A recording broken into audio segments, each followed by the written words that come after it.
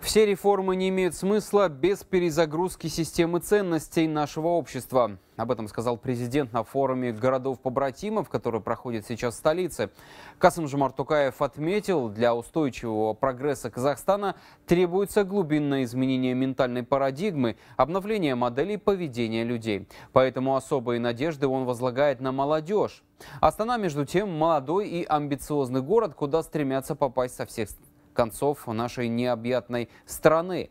Столица уже дала путевку в благополучную жизнь многим молодым людям. Этот город больших возможностей, сказал глава государства.